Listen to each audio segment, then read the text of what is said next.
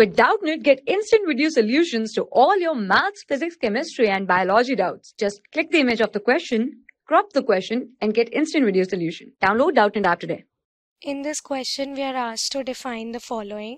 So the term is pollution, right? So we discuss about what the pollution is. So pollution is simply the introduction, right? It is the introduction of the harmful substance, right?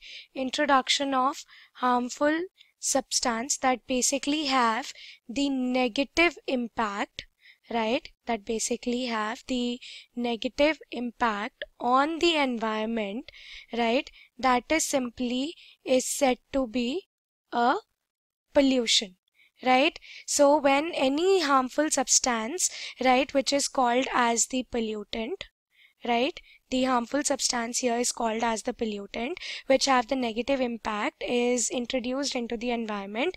Then the condition is known as the pollution right? So there are basically five major types of pollution. That is the air pollution right? Soil pollution right?